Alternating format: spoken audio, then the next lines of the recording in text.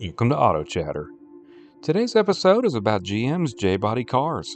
These successful front wheel drive subcompacts were sold for a long time and was a world car, sort of, as other parts of the planet had their own versions too. So let's explore a bit deeper about these cars. As always, facts, opinion, and speculation will be given. Please give a like if you enjoyed it and consider subscribing if you haven't yet. Now let's get started. The 1970s was certainly a transition decade when it came to cars. The early part of the decade was still popular for muscle cars, huge sedans, and personal luxury coupes. Two oil crises later in a single decade helped lead to a lot of cars with big engines that had their horsepower ratings choked by emissions. And there was a definite trend towards downsizing, as cars that got 10 miles to the gallon was going out of style faster than lava lamps and pet rocks. GM actually did a good job in the disco era, downsizing their fleet, and their gaze didn't go unnoticed on the cars that sold that were already small. They were already selling rear wheel drive T platform cars by the mid 70s here and abroad, and one well known in the US was the Chevette. GM was also selling rear wheel drive H body cars in North America, starting with the Vega, and eventually the Monza, Astre, Sunbird, Skyhawk, and Starfire join in, all sharing the same basic platform. Meanwhile, in other parts of the world, GM brands they owned outright or had a sizable stake in had T platform cars, and Opel created a slightly longer version of it called a U body.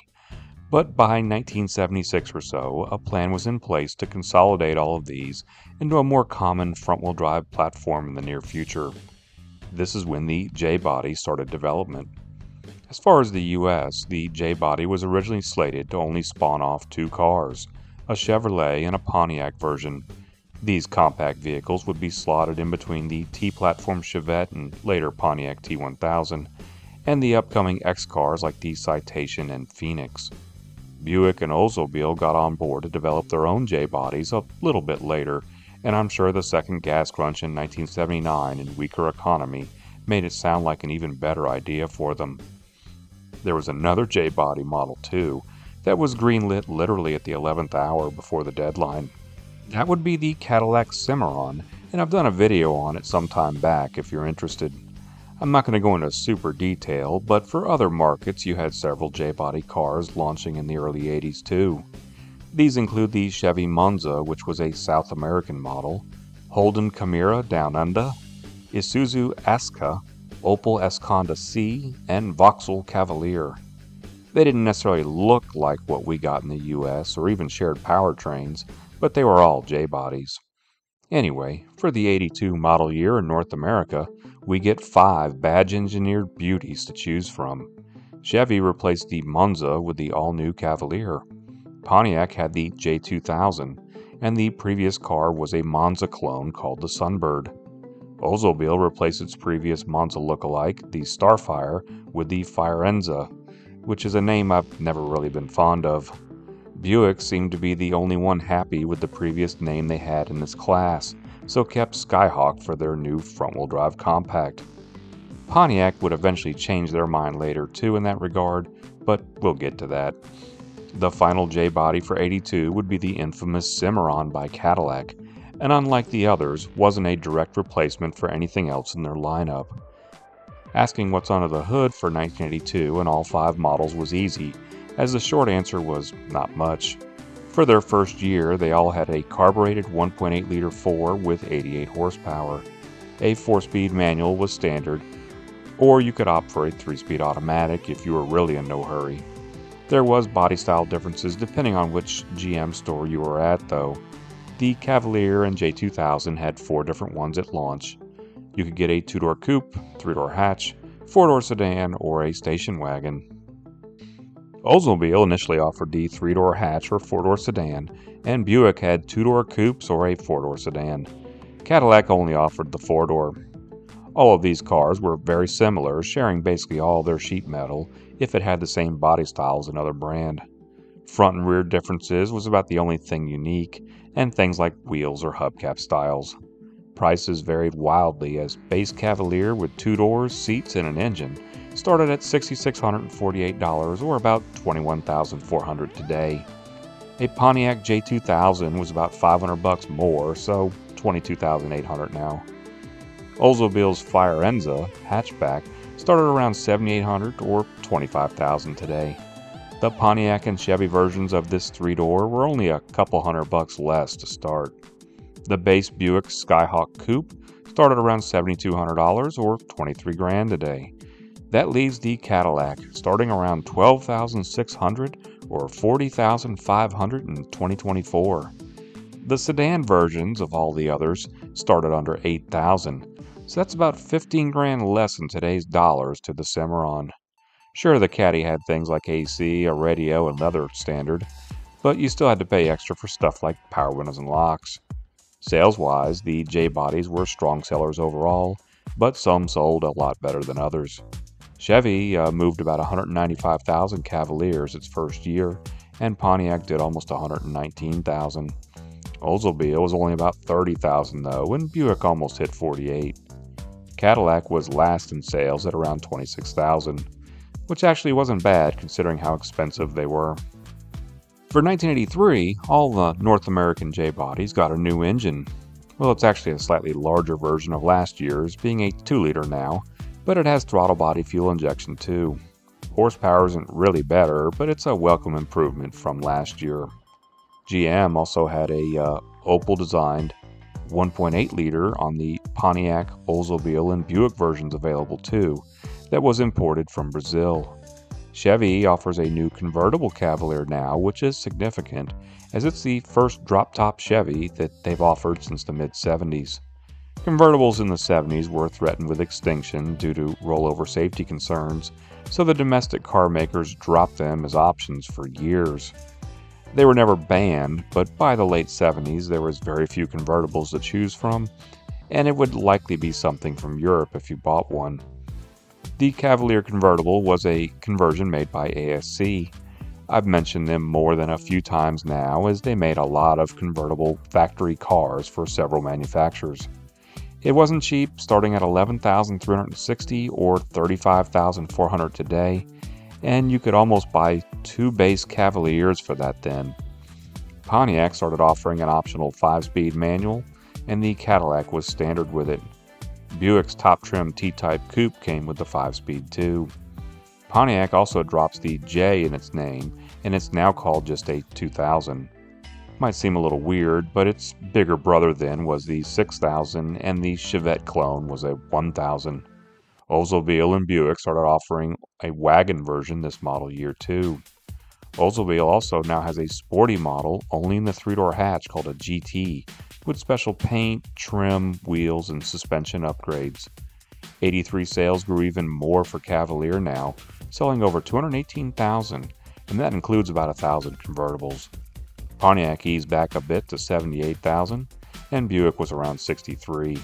Oldsmobile rose some to 40,700 or so, and Cadillac falls to just over 19,000. For 1984, Cavalier gets a new grille and four headlights instead of two. Chevy also offered their sportier Type 10 package on coupes, convertibles, and hatchbacks. This trim was eventually replaced by RS models later. Pontiac is still working out what to call their car, so for 1984 it's a 2000 Sunbird, literally taking last year's name and adding the one of the car this replaced to it. That's not all the changes for Pontiac this year though. The front end was restyled a bit, and a convertible version was an option now like the Cavalier had. Pontiac also had a turbo now too, that was a boosted version of the Opel Design 1.8 liter. It had 150 horsepower. Considering a heavier Mustang GT with a V8 then had 175, it was kind of a big deal. The Turbo Sunbird could be had in a coupe, four-door sedan, or the three-door hatch.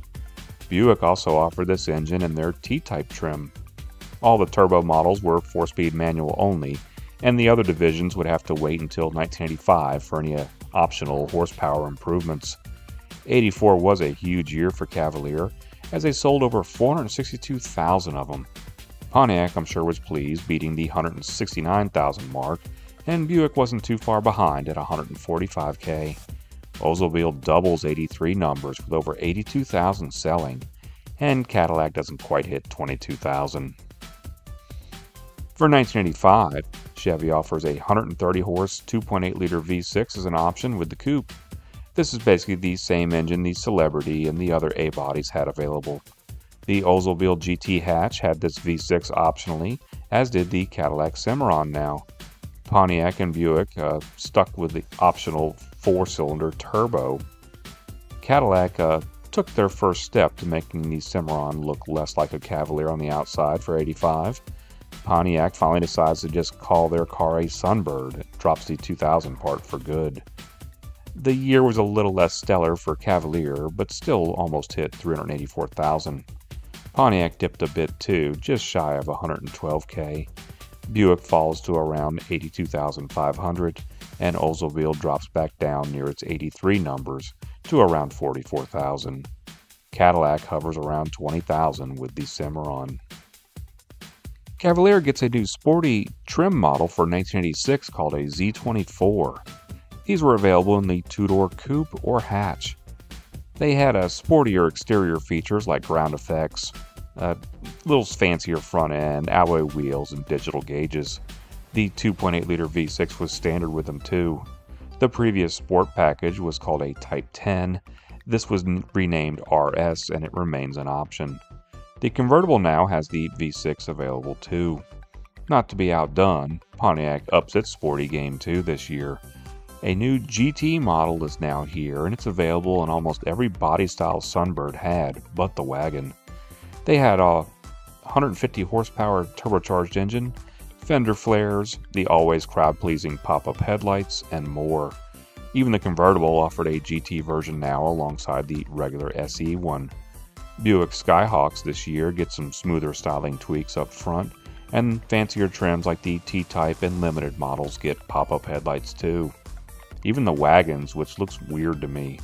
It's like two different cars were cut in half and welded together.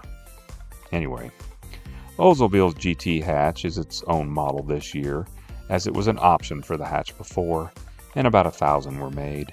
Cadillac Cimarron got wraparound rear taillights, and you had an optional Bose stereo available. It was also the last year for them in Canada, which is often an early sign your car isn't doing well.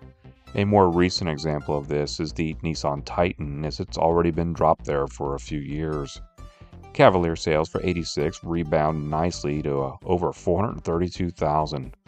Pontiac also improves, topping 135k, Buick has a good showing, breaking the 90,000 barrier, and Oldsmobile does slightly better than last year at around 46,700. Cadillac actually has a decent year with sales not too far off of 25,000. That's only about 1,500 less than its best selling year in 1982. 1987 marks the final year for the first gen Cavaliers, and the whole lineup pretty much carries over from last year, besides the V6 Z24 models having a 5 speed. The 2 liter base engine for all these J cars is revised, and they gain 5 horsepower, which puts them around 90. The Pontiac Oldsmobile and Buick Opel based optional 4s are now 2 liters as well, and they're rated at 96 horsepower. The turbo engines were also 2 liters now, and the Sunbird and Buick T-Type turbo models now have 165 horsepower. The Pontiac Grand Am got this engine available too.